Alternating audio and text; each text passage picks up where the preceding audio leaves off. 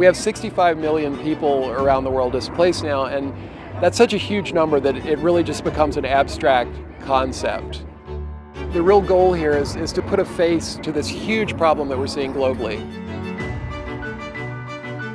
It's very interactive. We have uh, eight different stations, including a 360 degree video that shows you living situations and gives you profiles of people who've been displaced from their homes and our field workers around the world. You think what's most important to you?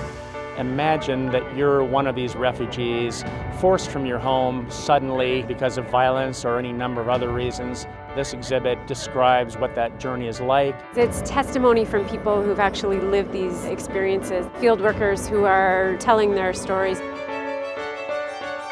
You feel it, like you actually get to feel it. What you hear on the news is actually like only a fraction of what's really going on. You get more of a connection when you're doing it hands-on versus just sitting and reading.